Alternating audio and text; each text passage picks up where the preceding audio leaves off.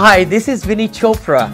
You know, I wanted to share why multifamily. If you're transitioning from single family to multifamily, remember if you have 15 homes, you have 15 roofs, you have to have, you know, sending, taking care of the repairs at 15 different locations.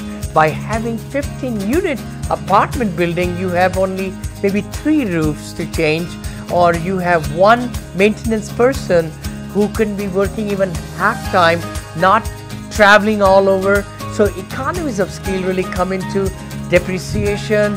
You are able to control the rents and everything also in multifamily much better than in single family.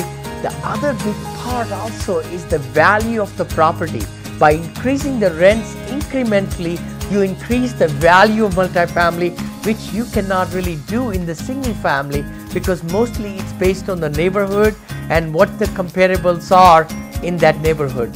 So now, you know, it's actually, I look at in multifamily, it's the, you know, not buying 15 different transactions, but you are combining all that into one transaction in multifamily, you know, and qualifying for one loan rather than 15 loans in single family.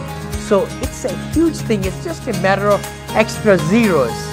You know, in one transaction, you are able to gather so many units and you are able to make much larger cash flows in multifamily.